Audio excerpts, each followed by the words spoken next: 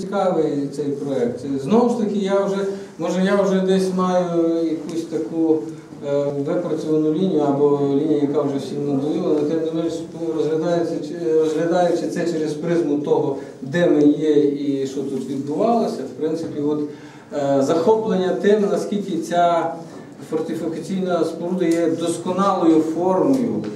І до якого стану час люди її довели. І тут е, Тереза втручається в цей простір е, абсолютно чіткими, е, правильними з естетичного чи з формального, чи з геометричного боку, аж правильними аж до оскомини.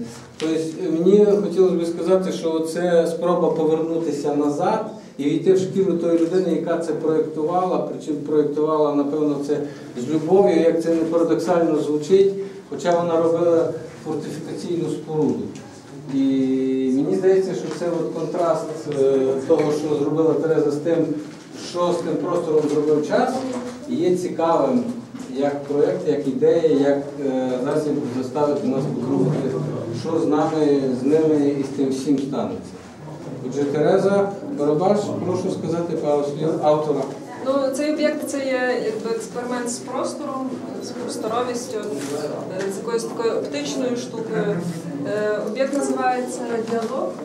Це є діалог форм, е, тобто кови, квадрата, діалог кольорів чорного і білого, діалог фортів з природою, також діалог людини з історією.